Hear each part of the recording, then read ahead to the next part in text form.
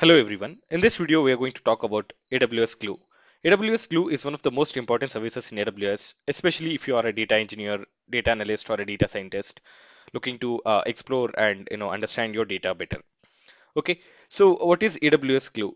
AWS Glue is a serverless data integration service.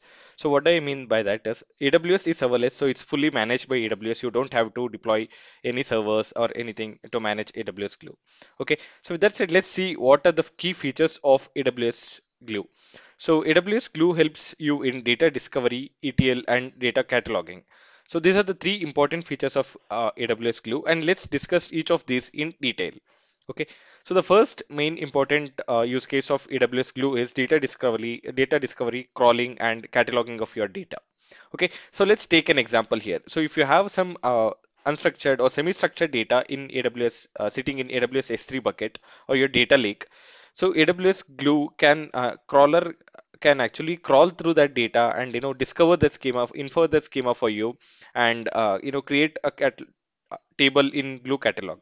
Okay, so if you see the first step is you create a crawler and you establish a connection of that uh, you know crawler with S3 and then the crawler infers the schema and then it uh, creates a table in Glue catalog. Okay, and once the table is created in Glue catalog, you can then start querying it as if it was structured data or as if it were any you know SQL database.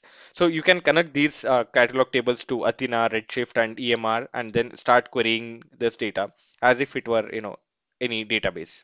Okay, so this is one of the most important features of AWS Glue, and it helps you, you know, discover and you know explore your data without actually moving the data from your sources. So in this whole process, the data is actually still sitting in your uh, S3 itself, but you're able to query it from you know Athena, Redshift, or EMR. Okay, so this is what uh, one of the most important features of AWS Glue is, you know, in uh, crawling through the data, inferring the schema, and creating uh, uh, you know catalog tables. And you can also use this glue catalog as uh, you know metadata repository for all your uh, data sources as you know such as s3 rds redshift uh, dynamodb or any other database. So yep glue catalog glue data catalog can also be an uh, metadata repository for all your data source data okay. So now let's see the next important feature of uh, glue which is etl okay. So etl which is also uh, extract transform and load so Glue supports running uh, ETL jobs um, on a serverless platform. So you don't, it actually under the hood, it runs Apache Spark, which is a very famous tool for uh, ETL. So uh, you don't ha uh, actually have to uh, manage or deploy Spark servers. So you can just start writing your jobs and you know um, write your ETL jobs and just run them on the fly in it in AWS Glue.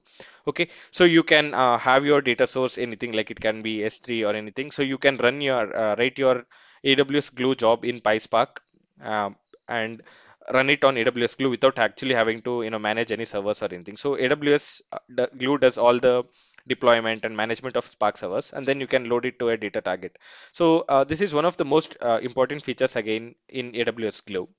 Okay, so in the upcoming videos, I'm going to talk uh, how to use this uh, Glue crawler and Glue catalog tables to export the data in S3 and uh, etc.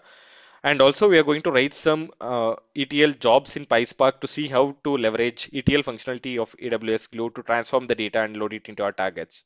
Okay, so this was a very short video, video to uh, introduce you to what AWS Glue is. In the subsequent videos, we will discuss each of the features of AWS Glue and actually build something hands-on. Okay, thank you and I'll see you in the next video.